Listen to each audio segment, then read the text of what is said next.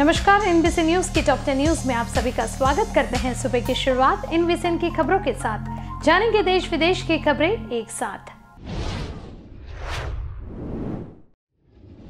आदित्य ठाकरे का शिंदे गुट पर निशाना, बोले 40 गद्दार हमारे नाम छीनने की कोशिश कर रही हैं।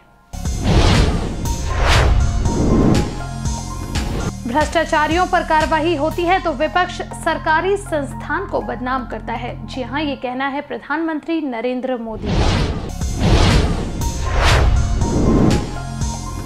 राजनाथ सिंह सैफे के लिए रवाना, अशोक गहलोत भी मुलायम सिंह के अंतिम संस्कार में होंगे शामिल। मुंबई से जबरन वसूली के मामले में दाऊद इब्राहिम गिरोह से जुड़े पाँच सदस्य हुए गिरफ़्तार।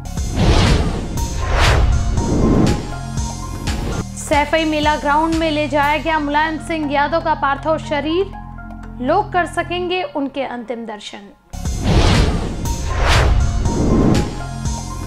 पीएम नरेंद्र मोदी राजकोट के एग्ज़ाम ग्रंथ में करेंगे जनसभा को संबोधित।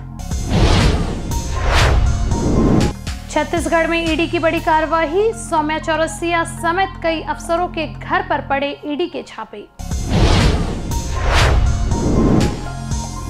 पश्चिम बंगाल में 9 अक्टूबर को हुए दो समुदाय के बीच झड़प के बाद एक बालापुर इलाके में धारा 144 लागू।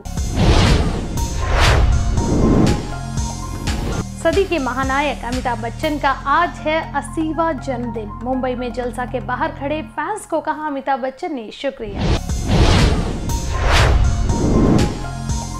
और लखनऊ में आज रहेगी स्कूलों में छुट्टी। प्रशासन ने बारिश की संभावना को देखते हुए लिया निर्णय।